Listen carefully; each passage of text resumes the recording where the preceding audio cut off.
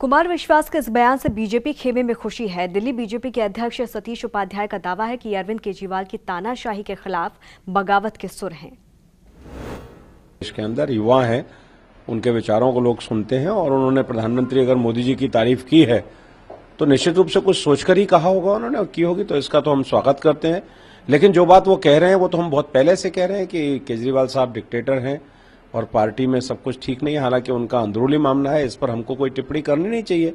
लेकिन चूँकि सार्वजनिक जीवन में है तो निश्चित रूप से उनके यहाँ चीज़ें ठीक नहीं है, डिक्टेटरशिप है, और अभी कुमार विश्वास साहब हैं शाजिया इल्मी हैं, तमाम तरह के लोग हैं जो उनको छोड़ करके गए हैं। और ये सब चीज़ें इंडिकेट करती हैं कि उनकी जो काम करने की शैली है, वो बहुत ही व्यक्तिगत है, सामूहिक नेतृत्व का अभाव है, और इसलिए इस तरह की चीज़ें सामने उनके यहाँ से आ रही हैं।